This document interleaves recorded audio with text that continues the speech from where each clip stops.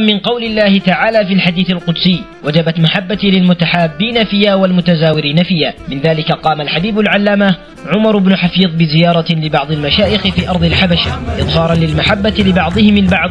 ولنا أن نشم شذا هذه المحبة العطرة فيما كان من زيارات لأهل العلم والفضل تجالسا في الله وتزاورا من أجله وترويحا للقلوب بروح الأخوة الإيمانية وتقوية لأواصر المودة الخالصة ارتباطا بالأسانيد العلمية المباركة وتجديدا للهمم وتبادلا للهم في إصلاح شؤون المسلمين والبلاد والعباد.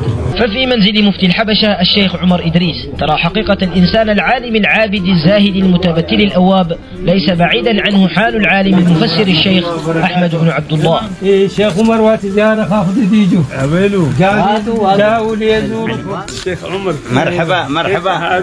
حفظكم الله ولله الحمد. الحمد لله على لقائكم.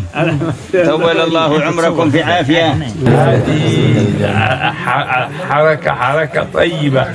حركة مباركة يا الله لعل الله سبحانه وتعالى يريد أن يري يعيد مجد هرر نعم. ومجد المسلمين آمين آمين آمين آمين آمين. آمين آمين آمين آمين الله يحفظك آمين الله يكثر آمين يا الله يا الله ذكرتمونا حين نسينا كل يا الله الله لله.